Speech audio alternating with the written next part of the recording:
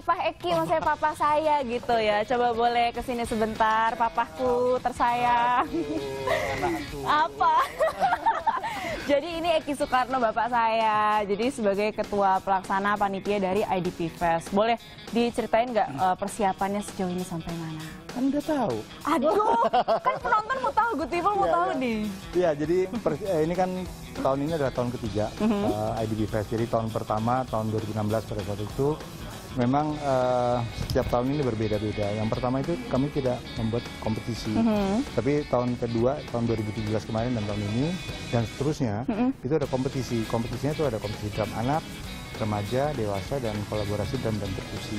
Berarti yang kompetisi yang di dalam, terus yang Enggak, eh, per- eh, perform juga ada yang di dalam, Oke. kompetisi di dalam perform.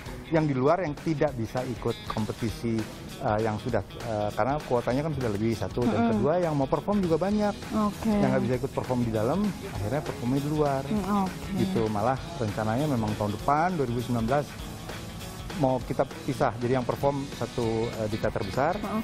yang kompetisi di teater kecil. Oke. Terus harapannya apa nih dengan adanya festival ini?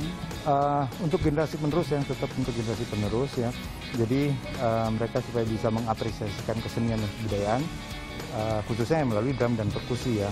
Modern maupun tradisional karena banyak generasi yang sekarang tuh mereka main drumnya umur 7 tahun 8 tahun sudah wah mengerikan main drumnya. Tapi begitu mereka kena percussion yang eh, asli Indonesia, tradisional Indonesia, mereka eh, awam, buta gitu loh. Mereka nggak belum eh, belum banyak yang tahu apalagi cara memainkannya. Oke. Nah, itu yang memang kenapa di sini drum dan perkusi festival itu bukan hanya perkusi eh, Latin percussion, African percussion, tapi ada juga Indonesian percussion kan banyak sekali. Indonesia ini banyak sekali.